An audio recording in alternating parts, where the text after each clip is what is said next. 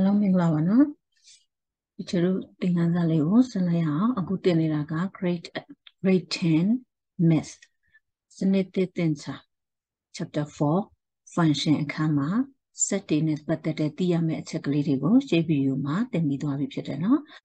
အဲ့တော့ ဒီချတို့ခုနကပြောလိုက်တဲ့ R လို့ရေးပြီးဆိုရင် R ဆိုတာဟာပါတယ်လေ relation တစ်ခုပဲဖြစ်တယ်လို့ပြောခဲ့တယ်မလားဒါဆိုရင်ဒီမှာ R equal to the the set of 1, 10, 2, 10, 2, 20ဆိုတာဒီပါတယ်လေဆက်သွယ်ချက်တွေ relation လေးတွေနားလည်ပြီလားဒါဆိုဒီ R လို့ပေးပြီဆိုတာ ਨੇ တချေတို့ဒီ arrow diagram ဆွဲလို့မရဘူးလားရသွားပြီဒါကြောင့်တချေရဲ့အစုနှစ်ခုတချေနာမည်ပေးလိုက်မယ်ဆိုပါစို့ဒါက A ဒါက B ဒါဆိုရင်ဒီ A 1.10လို့ပြောရင်1နဲ့10နဲ့ဆက်တာမဟုတ်ဘူးလားဒါကြောင့်ရှေ့အစုကနေနောက်အစုကိုဆက်သွယ်တာမလို့ရှေ့က elements 1တို့2တို့2တို့ဒီဘယ်ထဲကလဲ domain ထဲက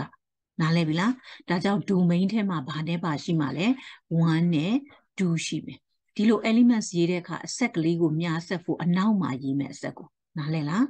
တခါကို domain အဆက်သွယ်ခံရတဲ့ဂိမ်းတွေကဒီကိုဒိုမိန်အစုတွေကမဟုတ်ဘူးလားဒါကြောင့်မလို့ဒီက10တို့10တို့20တို့ဒီဘယ်ထဲကလဲကိုဒိုမိန်ထဲကဒါဆိုကိုဒိုမိန်ထဲမှာဘာတွေရှိမလဲ10ရယ်20ရယ်ရှိမယ်ဟုတ်ပြီလားဒါကြောင့်နောက်က elements ရဲ့အဆက်ကကြတော့ဘယ်မှာရေးမလဲအရှိလေးမှာရေးမယ်ဒါဆိုဒီချတို့ဆက်သွယ်လို့ရသွားပြီဘာနဲ့ဘာနဲ့ဆက်မလဲ1နဲ့10နဲ့ဆက်မယ်1နဲ့10နဲ့ဆက်မယ် 1.10တခါ2.10ဆို2နဲ့လည်းဘယ်သူနဲ့ဆက်မလဲ10နဲ့ဆက်မယ်ဒါဆို2.10တခါနောက်တစ်ခု2.20ဆိုတော့2နဲ့ဘယ်သူနဲ့ဆက်မလဲ20နဲ့ဆက်မယ်ဒါကြောင့်2နဲ့20နဲ့ဆက်မယ်ဒါ relation လေးရသွားပြီနားလည်ရလားဒါကြောင့် teacher တို့ဒီ arrow diagram လေးပေးထားရင်လည်း r set of order ပဲကိုရေးလို့ရေးတတ်ရမယ် set of order ပဲပေးထားရင်လည်း arrow diagram ရေးလို့ရမယ်နားလည်ပြီလားဒါဆိုဒီ arrow diagram လေးမှာ range ဒီဘာတူလဲ10နဲ့20ဒါကြောင့် ran of r equal to the the set of 10, 20နားလည်လား ဒါဆိုရင် teacher တို့ကဒီ relation r လေးပဲပေးထားရင်ကော set of order ပေးလေးပဲပေးထားရင်ကောယူလို့မရဘူးလားရတယ်ဘယ်ဟာကိုယူရမှာလဲ1.10လို့ပြောလိုက်နောက်ကဟာလေးဒီ range မဟုတ်ဘူးလားဒါကြောင့်ဒီမှာလဲကြည့်ယူလို့ရတယ်10နဲ့20နားလည်မယ်နော်ကဲဟုတ်ပြီဒါဆိုတချို့တို့နောက်ထပ်ဒီဆက်သွယ်ချက်ကလေးကိုပဲဘာနဲ့ပြလို့ရမလဲ graph နဲ့ပြလို့ရတယ်အဲ့တော့ graph လေးနဲ့ပြရအောင်ဆက်သွယ်ချက်ကို အဲ့တော့ graph နဲ့ဆွဲလိုက်ရင်ဒါလေးဒီဘာဝင်ယူလဲ x ဝင်ယူသူ့ x လို့ရေးမယ်မြားကနှစ်ဖက်လုံးတက်လဲရတယ်တစ်ဖက်တည်းတက်လဲရတယ်နော်ဒါလေးကဘာဝင်ယူလဲ y ဝင်ယူဟုတ်ပြီနော်အဲ့တော့ x နဲ့ y ဝင်ယူမှာ teacher တို့က x ဝင်ယူဒီဘယ်သူ့ကိုကိုစားပြုလဲဆိုတော့ dom of domain ကိုကိုစားပြုတယ် x ဝင်ယူကဘယ်သူ့ကိုကိုစားပြုလဲ domain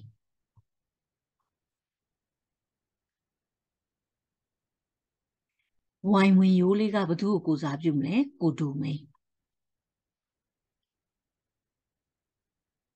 အဲ့တော့အဲ့ကိုဒိုမိန်ကြီးတစ်ခုလုံးကိုမယူဘူးတချို့ကဘာကိုယူမှာလဲဆက်သွယ်ချက်ကလေးကိုယူမှာဖြစ်တဲ့အတွက်ဒီဝိုင်ဝင်ရိုးဒီဘာလို့ခေါ်မလဲဆက်သွယ်ချက်ဆိုတာဆက်သွယ်ခံရတဲ့ဂိမ်းလေးဒီ ran off arm ဟုတ်ဘူးလားဒါကြောင့်တချို့ရဲ့ဝိုင်ဝင်ရိုးဒီဘာဖြစ်မလဲ ran off arm နားလည်ပြီလား အဲကြောင့် y လို့မရေးဘူးเนาะဘာလို့ရေးလိုက်တော့မလဲ ran off r ran off ဒါဆိုရင် domain လို့မရေးတော့ဘူးလို့ရေးမလဲ don of r သင်္ကေတနဲ့ရေးပေးမယ်နော်အဲ့တော့ तू ကဘာဖြစ်မလဲ don of r ရမလားဒါဆိုရင်ဒီချက်ရဲ့ domain လေးဒီ1နဲ့2မဟုတ်လားဒါကြောင့်ဒီဝင်ရိုးပေါ်မှာဒီချက်ဘာနဲ့ဘာကိုအမှတ်ချမလဲ1လေးရဲ့ 2လေးရဲ့ကိုအမှတ်ချမယ်ပြီးရင် range range of r range of r လေးဒီ10နဲ့20မဟုတ်ဘူးလားဒါကြောင့်ဒီချက်ဒီပေါ်မှာဘာလေးနဲ့ဘာလေးနဲ့ရေးမလဲ10နဲ့20ဆိုတော့အဲ5 5စီခွဲရေးသွားလဲရတယ်နှစ်ခုပဲရေးပြခြင်းလဲရပါတယ်เนาะဒီချက်ကတော့အဲ့လိုရေးလိုက်ပါမယ်ဘာနဲ့တွားလိုက်မလဲ5 10 15 20လို့ရေးလိုက်မယ်เนาะ နားလည်လားအဲ့တော့ဒီလိုအစိတ်ကလေးနဲ့သွားလိုက်တဲ့အတွက်တစ်ချက်ဘာနဲ့ဘာနဲ့ရေးမှလဲ10နဲ့20နားလည်ပြီလားအဲ့ဒါဆိုရင်တစ်ချက်ဘာလုပ်တော့မလဲဆက်မယ်1နဲ့ဘယ်သူနဲ့ဆက်သွယ်ထားလဲ10နဲ့ဆက်သွယ်ထားတဲ့အတွက်1မှာထောက်1မှာထောက်ပြီးဘယ်သူနဲ့ဆက်သွယ်မှာလဲ10နဲ့ဆက်သွယ်မှာဆိုအပေါ်တန်းတန်းတက်သွားလိုက်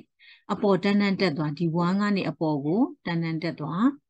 တန်းတန်းတက်သွား ပြီးရင်တဲနဲ့ဘာလုပ်မလဲစုံတဲ့နေရာဒီနေရာလေးမှာအမှတ်ချမယ်တခါ1နဲ့ sorry 2နဲ့10နဲ့ဆက်သွယ်တယ်ဆို2မှာထောက်အပေါ်ကိုတန်းတန်းတက်သွားအဲ့ဒီ2ကနေအပေါ်တန်းတန်းကိုဘယ်သူနဲ့ဆက်သွယ်မလဲ20နဲ့စုံတဲ့နေရာမှာဘာလုပ်မလဲအမှတ်ချမယ်နားလဲပြီလားတခါ2နဲ့20နဲ့အောင်မဆက်သွယ်ဘူးလားဆက်သွယ်တဲ့အတွက်2မှာထောက်တယ်အ sorry 2နဲ့10နဲ့ဆက်သွယ်မယ်ပြီးရင်2နဲ့20နဲ့လည်းဆက်သွယ်မယ် နားလည်ရလားဒါဆိုဒီချက်ကအဲ့ဒါလေးကိုဘာလုပ်ကြည့်မလဲမြင်းဖြောင်းအနေနဲ့အဲ့ဒီအဆက်ကလေးကိုဘာလုပ်မလဲဆက်ကြည့်မယ်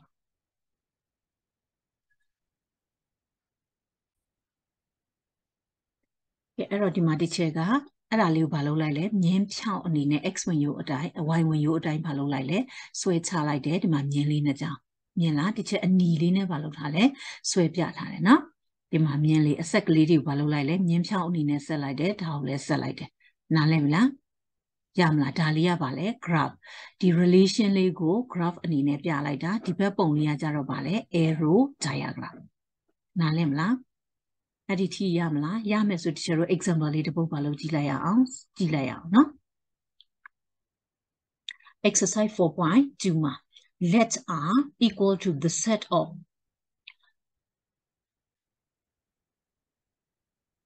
r ပေးထားတယ် 1.2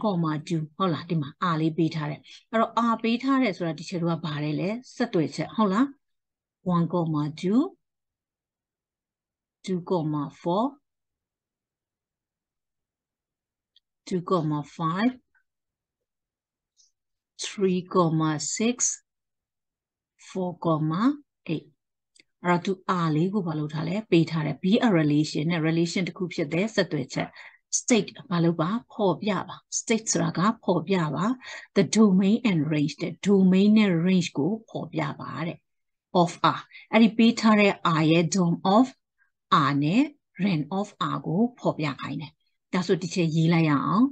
dom of r equal to DOM ဆိုတာ domain မဟုတ်ဘူးလား domain ဆိုတာဘယ်က elements လဲအရှိက elements လေးတွေဟုတ်လားဒါကြောင့်1 2 2ရင်တစ်ခါပဲရေးမယ်နော်1 2 3 4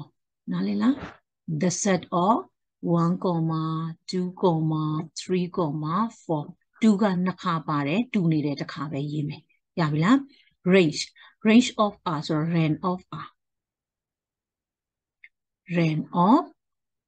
r equal to ran of r ဆိုတော့ the set of ဆက်သွယ်ခံရတဲ့ gain လေးတွေမဟုတ်ဘူးလားဒါဆိုဘယ်ဟာလဲအနောက်က gain နောက်က elements ဖြစ်တဲ့အတွက်2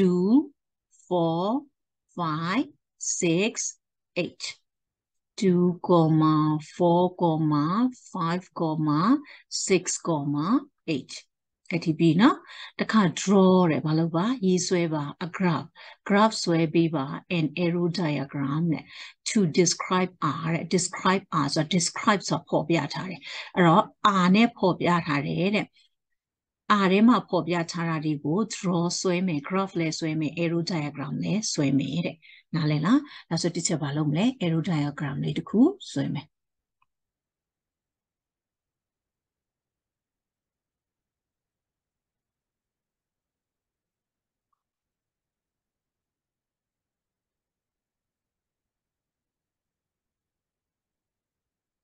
အဲ့တော့ရှေ့အစုကိုတစ်ချက်နာမည်ပေးလိုက်မယ်။ဗာလေးထားလိုက်မလဲ။ရှေ့အစုလေးကိုအာလို့ထားမယ်နော်။ရှေ့အစုကို A လို့ထားမယ်။နောက်အစုကို B လို့ထားမယ်။ရှေ့အစုထဲမှာဘယ်သူတွေရှိမလဲ domain ထဲမှာ1 2 3 4 1 2 3 4အဆက်ကလေးတွေကိုဘေးမှာထားအနောက်ကလေးမှာထားမယ်။တခါ ကိုဒိုမိန်ဆက်သွယ်ခံရတာလေးတဲ့2 4 5 6 8ဆိုတော့ B ထဲမှာဘယ်သူတွေရှိမလဲ2 4 5 6 8အဆက်ကလေးတွေဘေးမှာထားမယ်အရှိမှာထားမယ်ရမလားဒါဆိုတစ်ချက်ကဒီကိုကြည့်မယ်1.2ဆိုတော့ဘယ်သူနဲ့ဘယ်သူနဲ့ဆက်မလဲ1နဲ့2နဲ့ဆက်မယ်တခါ2.4ဆိုတော့2နဲ့4နဲ့ဆက်မယ်တခါ 2.5ဆိုတော့2နဲ့5နဲ့ဆက်မယ်တခါ3.6ဆိုတော့3နဲ့6နဲ့ဆက်မယ်4.8ဆိုတော့4နဲ့8နဲ့ဆက်မယ်ရပြီလားဒါဆိုဒီချက်ဘာကိုရသွားပြီလဲ arrow diagram of r ကိုရသွားပြီ နားလည်လားအဲ့တော့သူ့ကိုအပေါ်လေးမှာဘယ်လိုရေးပေးမလဲ arrow diagram of r အောက်လေးမှာရေးလိုက်ရနော်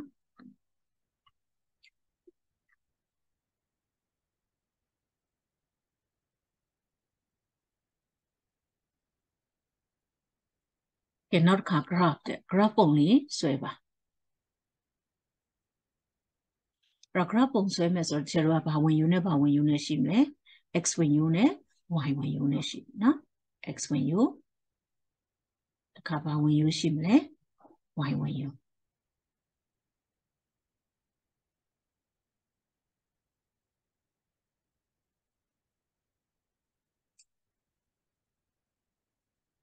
အဲ့တော့ဒီက x ဝင်ယူကဘယ်သူ့ကိုကိုစားပြုမယ် dom of r နော် y ဝင်ယူကဘယ်သူ့ကိုကိုစားပြုမလဲ ren of r အဲ့တော့ dawn of r ကဘယ်သူတွေရှိမလဲ1 2 3 4အဲ့တော့ဒီမှာအဆက်ကလေးချမယ်1 2 3 4 ren ကဘာတွေဖြစ်မလဲ2 4 5 6 8 2 4 5 6 8အဲ့တော့အဆက်ကလေးတွေချမယ်2.1ဆိုတော့2မှ6မယ် နော်2မှ6မယ်1ဆိုတော့ sorry 1.2ဆိုတော့ဘယ်မှာ6မလဲ1မှ6မယ်2နဲ့စုံတဲ့နေရာမှာအဆက်ချမယ်တခါ2.4ဆိုတော့2မှ6မယ်အပေါ်တန်းတန်းတက်မယ်4နဲ့စုံတဲ့နေရာမှာအဆက်ချမယ်တခါ2 2.5ဆိုတော့2မှ6မယ်အပေါ်တန်းတန်းတက်မယ်5နဲ့စုံတဲ့နေရာမှာအဆက်ချ3.6ဆို3မှ6အပေါ်တန်းတန်းတက် 6နဲ့စုံတဲ့နေရာမှာအဆက်ချတခါ4.8ဆို4မှ6တန်းတန်းလေးတက်ပေါ်ကိုဘယ်နေရာမှာအဆက်ချမလဲ8နေရာမှာအဆက်ချသူ့ကိုချေရဝိုင်းဝင်ယူအတိုင်းပါလေးတွေဆွဲလိုက်မယ်မြင်းဖြောင်လေးတွေဆွဲလိုက်မယ်ရမလားကဲအဲ့တော့ဆက်ကြည့်လိုက်အောင်နော်ကဲအဲ့တော့ teacher ဒီမှာမြင်းဖြောင်လေးတွေနော်ဝိုင်းဝင်ရိုးအတိုင်းမြင်းဖြောင်လေးတွေဒေါင်းလိုက်မြင်းဖြောင်လေးတွေနဲ့ဘာလုပ်လိုက်လဲဆက်ဆွဲလိုက်တယ် ရမလားဒါဆိုသူ့ရဲ့ဘာကိုရသွားပြီလဲ relation of r ရဲ့ graph ကိုရသွားပြီအဲဆွဲတက်မလားအဲ့တော့ arrow diagram ဆွဲတက်ရမယ် graph ဆွဲတက်ရမယ် zero order ပဲပေးထားတယ်အပြန်အလှန်ဘယ်ဟာကိုပေးပေး graph ကိုကြည့်ရင်လည်းဒီ zero ဆက်သွယ်ချက်ယူလို့ရတယ်ဒီအဆက်ကိုကြည့်လိုက်တာနဲ့1.2ဟုတ်လားတခါအဆက်ကလေးကိုကြည့်အဆက်ကိုထောက်လိုက်အောက်ကိုဆင်းလိုက်ရင်2ဘီကိုသွားလိုက်ရင်4ဆိုတော့အဲ့ဒါ2.4 ဒါဆိုဆက်သွယ်ချက်ယူလို့မရဘူးလားဒါဆို graph ကြည့်လဲဒီ share ဆက်သွယ်ချက်ယူလို့ရတယ်ဒီက arrow diagram လေးကိုကြည့်လဲဆက်သွယ်ချက်ယူလို့ရတယ်ဒီက set of order ပဲဆိုရယ် r လေးကိုပေးထားရင်လဲ relation ယူလို့ရတယ်ဆက်သွယ်ချက်ယူလို့ရတယ်နားလည်ပြီလားအပြန်အလှန်နေနဲ့ဘယ်ဟာကိုပဲပေးထားပေးထား domain ကိုလည်းယူလို့ရတယ်ကို domain ကိုလည်းယူလို့ရတယ်ဆက်သွယ်ချက်ကိုလည်းယူလို့ရတယ် range ကိုလည်းယူလို့ရတယ်နားလည်ပြီလားအဲ့တော့ range ကိုက ran of r domain ကိုက don of r relation ဆက်သွယ်ချက် set of order ပဲလို့ပေးထားရင်သူ့ရဲ့ထဲမှာ relation ရှိတယ်လို့သိရမယ်ရပြီလားအဲ့အထိဒါဆိုရင်ဒီချက်ဒီနေ့သင်ခန်းစာလေးတစ်ချက်ဒီလောက်နဲ့ပဲရက်ချင်ပါတယ်။နောက်ဖန်ကြမှာတစ်ချက်သင်ခန်းစာလေးကိုဆက်ပါမယ်။အားလုံးမင်္ဂလာပါ။